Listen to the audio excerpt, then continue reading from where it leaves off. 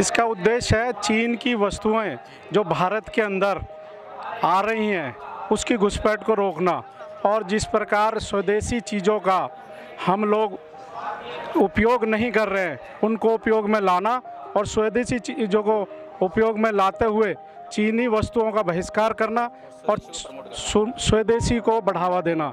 इस प्रकार का एक कार्यक्रम इस रैली के माध्यम से किया जा रहा है।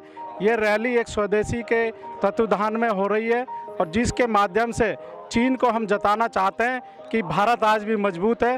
भारत तुम्हारी कमर तोड़ने में सक्षम है। इस रैली के बाद अब क्या लगता है आपको जो देश में बेरोजगारी की स्थिति है और उद्योगों की जो स्थिति होती जा रही है उसमें परिवर्तन आएगा क्योंकि हमारे स्वदेशी उद्योगों को बढ़ावा मिलेगा। स्वदेश उद्योग का आगे जो लोग बेरोजगार घूम रहे हैं, उनको स्वरोजगार मिलेगा। जिस प्रकार चीन ने हमारी मार्केट में अपना प्रभाव जमाया था, उस प्रभाव को इस स्वदेशी रैली के माध्यम से उखाड़ फेंकने का काम हम सभी स्वदेशी भक्त करेंगे।